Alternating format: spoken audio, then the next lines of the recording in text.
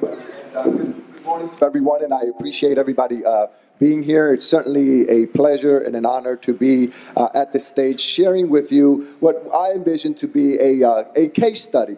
And I think the, this morning's presentations really set a clear uh, foundation and context uh, for my conversation with you uh, today. Uh, which is about the National Science Foundation Advance Institutional Transformation Program at the University of Texas Rio Grande Valley. Now, I while I was looking at the program for today, uh, I did notice that at the front of the program, at least uh, five of the sponsoring institutions are current or former National Science Foundation Advance IT uh, Institutional Transformation Grant institutions. So that speaks highly of the role that the NSF Advance program is playing uh, throughout the United States in enhancing gender equality, gender inclusion, gender diversity as it relates to uh, women in STEM disciplines. And so today I'm going to be sharing with you basically a case study about the University of Texas, Rio Grande Valley, and our uh, uh, Advance program.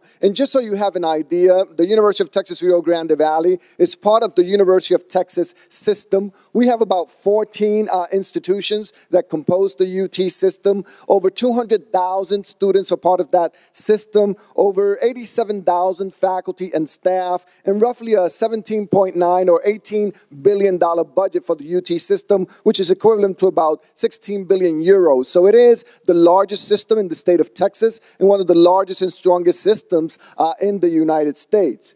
And we were fortunate to be selected as part of the uh, Advance program, National Science Foundation. This is a five-year program, uh, $3.1 million, so about 2.8 uh, million euros. And I have the pleasure of serving as the principal investigator, as a provost for UTRGV, and the principal investigator for the UTRGV Advance program. And as you can see here, the major goal of the Advance program at UTRGV is to increase the representation and advancement of women faculty, especially Latinas or Hispanic female faculty in STEM disciplines throughout the University of Texas, uh, Rio Grande Valley.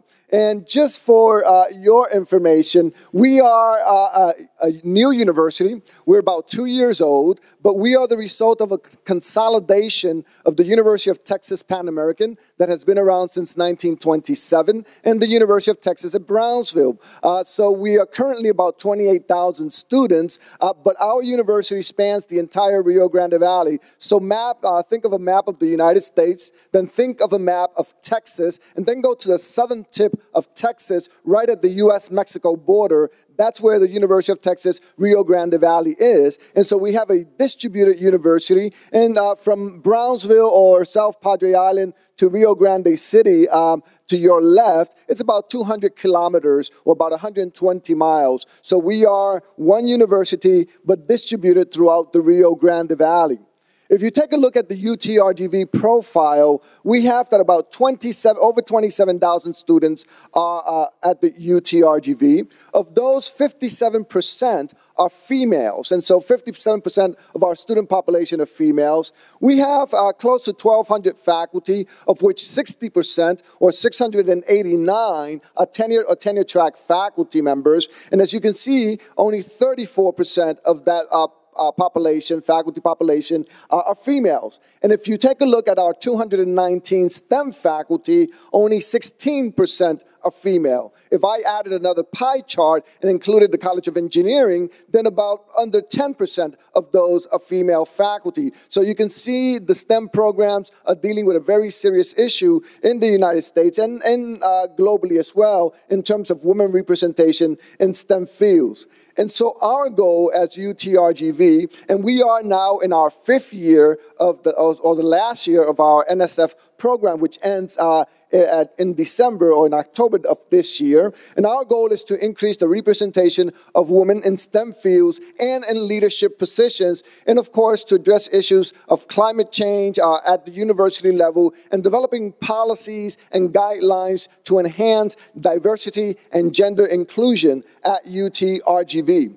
And so we've taken a very comprehensive look at our goals and our initiatives, uh, ranging from recruitment, uh, that is reaching out, recruiting women in, for gender uh, women uh, in STEM fields at UTRGV to the advancement of females uh, through promotion through the ranks, through a, from assistant to associate to full professor, but also increasing the visibility, the presence, and impact of women in leadership positions. We've taken a look at policy and climate issues at UTRGV and developing initiatives and policies to enhance the climate at the university to focusing on education and empowerment, uh, for, especially for women, but across the university, because we feel it's particularly important to engage both men and women in this process, and really to gauge how successful we've been. We have a social science study that has taken a look uh, every year in terms of our progress and uh, how we're moving forward in terms of our goals. So let me start with recruitment.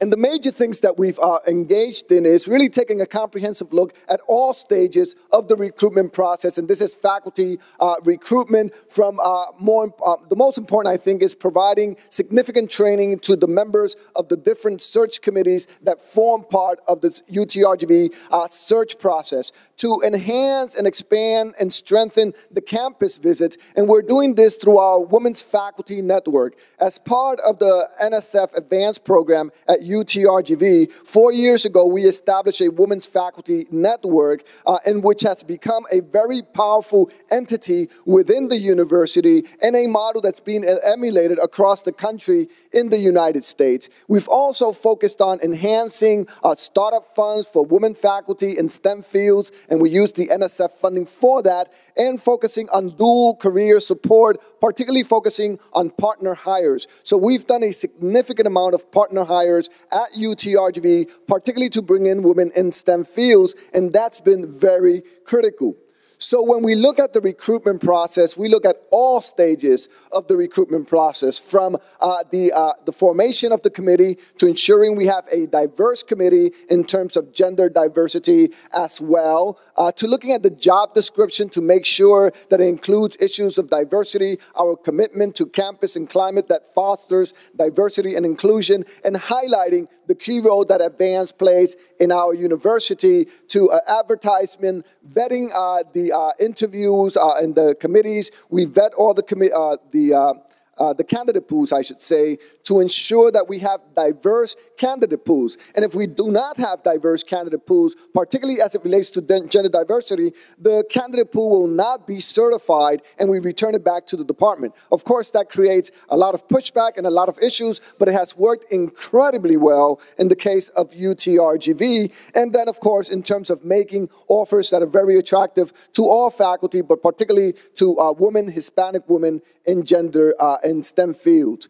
In the area of advancement, we've developed a variety of initiatives to encourage uh, the promotion of women throughout the ranks and throughout leadership roles. Uh, of particular interest, I'm going to mention the first four. The Leadership Institute, we want to really develop bench strength in terms of our leaders and ensuring that we have uh, engaged a woman faculty that become leaders, academic leaders at UTRGV. Our Administrative Fellows Program uh, allows our faculty, and particularly women faculty, to serve as fellows with the provost, vice president for student success, vice president for student administration, really to get people uh, in the mode and thinking about leadership positions at our institution. The Summer Writing Institute uh, for, for Women uh, takes place every summer uh, in South Padre Island, and the idea is to have a one week uh, all to yourselves working with other colleagues to promote writing and promotion uh, in the discipline. And then, very critical for us is the Associate to Full Professor program. As you very well know, if you are in higher uh, education, particularly if you go through these rank systems, it is very typical for many faculty to simply stay stuck at the associate professor level. And what is true for all faculty, it's even more so for women faculty. So we've developed this one-year program for associate professors to uh, provide training, to provide advancement, to ensure that they go through the process of publishing, getting grants, etc., and to become promoted to full professor. Now, during this uh, four, four or five year period, if you look at our UTRGV women in leadership uh, positions, We started back in 2012 with about 32%, which is already uh, uh, high compared to the figures we've heard uh, this morning, and that's increased uh, to 36%. Not a dramatic improvement, but certainly improvement in the right direction, and we continue to move in that direction. So 36% of administrators at UTRGV are either department chairs, associate deans, deans, associate vice presidents, or vice presidents uh, at the University of Texas Rio Grande Valley. So we're certainly making uh, significant progress in that area key about uh, institutional transformation is change and change in climate and change in culture. So we are also focusing on policy and climate and developing policies and initiatives to tell our faculty, to tell junior faculty, to tell potential candidates for UTRGV that climate matters, that gender matters at UTRGV. As I mentioned previously, our dual career partner hires are particularly important for us, and we provide a lot of emphasis in these initiatives. In the fostering positive and supportive uh, climate, we continue to develop our climate surveys to measure how things are moving forward we provide mentoring awards, particularly for departments who have played a critical role in gender and gender diversity. And we've established throughout the university, uh, throughout our multiple campuses, uh, nursing mother suites as well to promote a family friendly atmosphere and climate. And these are extensively used at UTRGV and very much uh, welcomed. Looking at education empowerment, I mentioned already uh, the critical role that the Women's Faculty Network plays at UTRGV. They meet on a regular basis. They are represented in my executive council, which is the academic affairs decision making process uh, council or decision making council for UTRGV. Uh, they serve on, on my uh, council and play a critical role in that process as well. As has been mentioned throughout the morning, training uh, at all levels, the training of search search committees, the training of tenure and promotion committees with a focus on implicit bias, with a focus on gender diversity and inclusion has been very, very important for us. And another mechanism that we've been looking at and we just completed uh, this past year as part of our commitment to uh, the Advance program have been the gender equity uh, salary adjustment. So we took the look at faculty throughout the university across all seven colleges, and we looked at women and men faculty, and we said all else equal, that is rank, time in rank, department, etc., salary should be equal. But of course, as you might imagine, they were not equal for many, uh, for many of our women faculty. So we actually went through a process of adjusting uh, salaries for female faculty. And along the way, we found a variety of male faculty who also had a variety of issues and made some gender equity adjustments as well. And that really shows the strong commitment of the university to addressing gender uh, equity issues in the area of salaries as well. So what we focused on is developing best practices and trying to implement our best practices at UTRGV and strategies as well. From providing leadership, so having the president and the provost, for example, as the principal investigator and actively engaged in the Advance program sends a strong message to our faculty that gender diversity is very important for us actively engaging the deans and the department chairs in discussions about gender diversity and inclusion is also uh, very important. Uh, providing change or focusing on change in recruitment attitudes, and culture, having regular trainings for our committees and for our faculty regarding implicit bias and the importance of promoting excellence and diversity, and that excellence and diversity are not mutually exclusive, but are reinforcing and they're part of a community of uh, excellence that we promote at UTRGV is particularly important.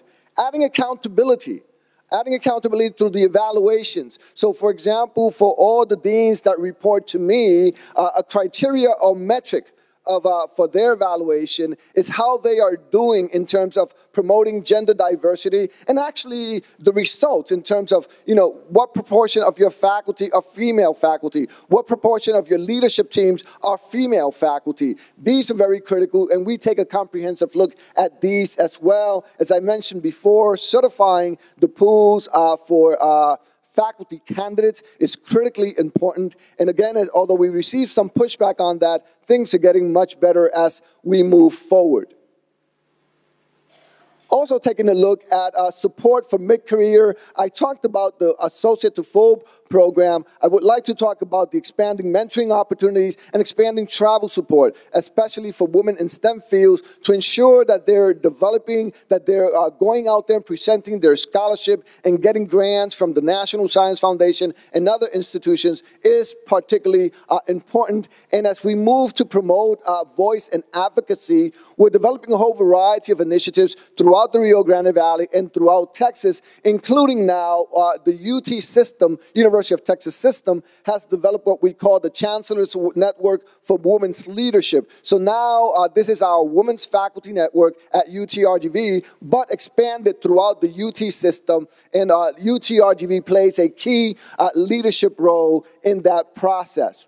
Again, reducing service burden for women and faculty of, of color, especially tenure track uh, faculty who turn to be, uh, tend to be overburdened with uh, service and committees, etc. We as deans and as provosts, we take a careful look to ensure that we provide them the time to focus on teaching and particularly scholarship at UTRGV uh, increasing uh, the voice uh, uh, recognition and visibility of our programs is particularly important. One of the areas that I would like to highlight here is our dual career uh, symposium, which was also funded by the National Science Foundation. We have participation of faculty uh, throughout the United States, and we're having a book that's coming out hopefully this year or the beginning of next year, focusing on dual careers uh, and women in STEM fields uh, funded by the National Science Foundation.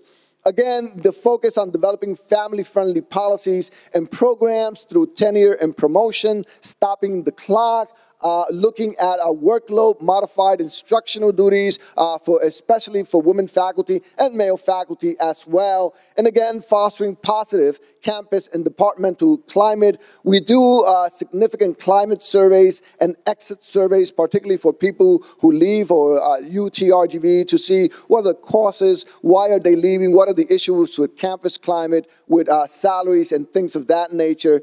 And we also have equity and diversity advocates that serve on all our search committees. And the idea here is to help us certify our pools, make sure that the committees are diverse, make sure that the uh, pools of candidates that uh, we select for interviews are diverse, and the people that come to campus for interviews are also diverse.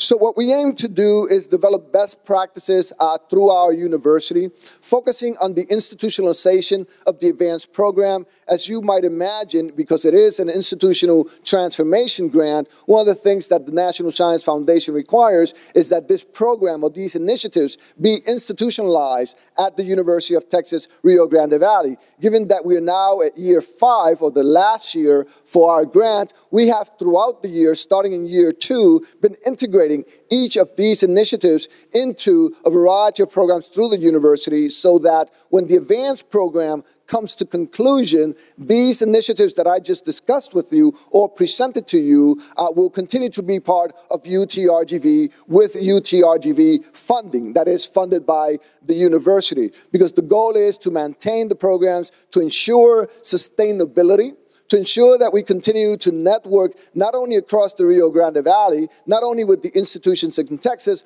but across, uh, across the United States. And there's a variety of institutions, again, highlighted in your, uh, in your pamphlet here, that we've been working on as part of the Advance program. And so, again, one of our goals is to continue to communicate and disseminate the information and the impact that Advance has had at our university and incorporating our Advance goals into the fabric of UTRGV so that these are not any longer advanced goals, but these are goals of our institution. These have been part and have become part of our strategic planning process, of our initiatives uh, moving forward.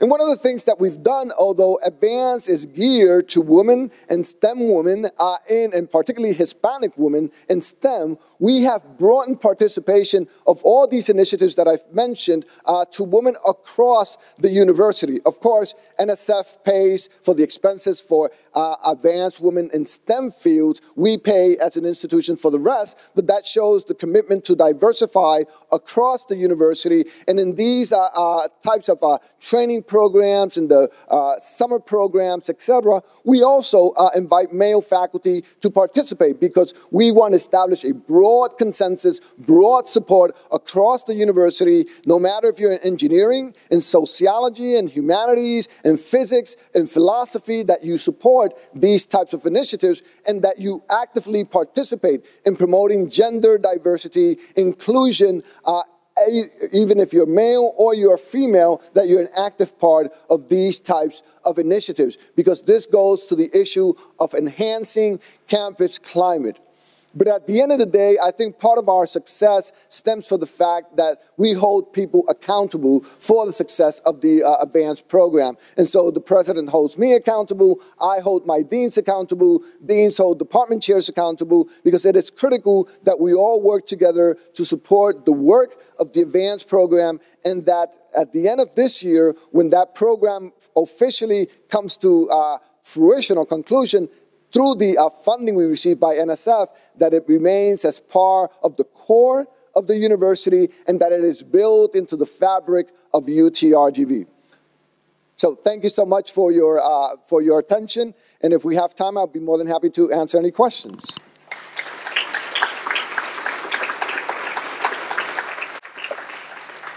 Indeed. Um, Chris, do we have time for a question? I think we do, huh? We have time for one question, and it's up at the front. If you could please state your name and affiliation. My name is Janice Aldridge Wright, and I'm from the University of uh, Western Sydney in Australia. If you'd mind saying that again, just for the recording. My name Thanks. is Janice Aldridge Wright. I'm from the Western Sydney University in Australia. I was just, um, congratulations on a very, um, shall I say, overwhelming program. I think you've been busy for quite some time. Yes, we have. Um, I'd just like to ask you, could you um, please say a little bit more about your tender or your tenure and promotion stop clock? Yes. And so the, the, one, one of the goals here is that we allow, uh, as many other uh, universities do, but we place a, particular focus on uh, allowing uh, folks to stop uh, the tenure clock uh, for maternity leave, for example, also for, for sickness, also for taking care of children who are, have some sort of illness, or families or parents who have some sort of extended or chronic illness. And so we will stop the clock for the faculty member. That means that during that period that you're out, whether it's a few weeks or whether it's a year, that we will stop the clock and we will not count that against your uh, five to six years that you have for tenure and all promotion at UTRGV. Okay, thank you very much.